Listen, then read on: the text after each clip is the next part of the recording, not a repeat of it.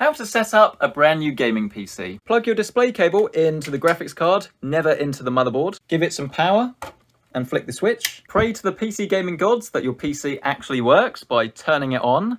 Let it light up and come alive. This is my latest water-cooled custom loop. Quickly mash the delete key to get into the BIOS.